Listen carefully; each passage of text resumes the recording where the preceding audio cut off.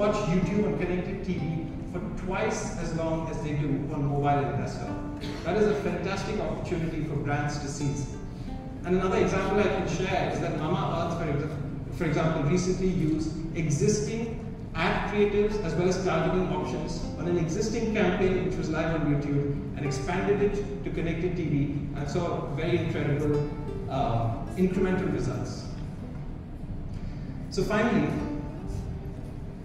the CTV experience, which is personalized, it's on demand, and it's immersive, is bringing more and more people to CTV across India right now.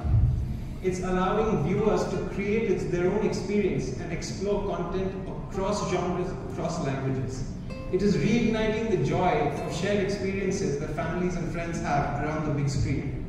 And it's giving brands an incredible opportunity to connect with these harder to reach audiences. And for us at YouTube, we are incredibly excited about the future growth that we are confident we will continue to see on YouTube and the boundless creativity that will unlock. Thank you.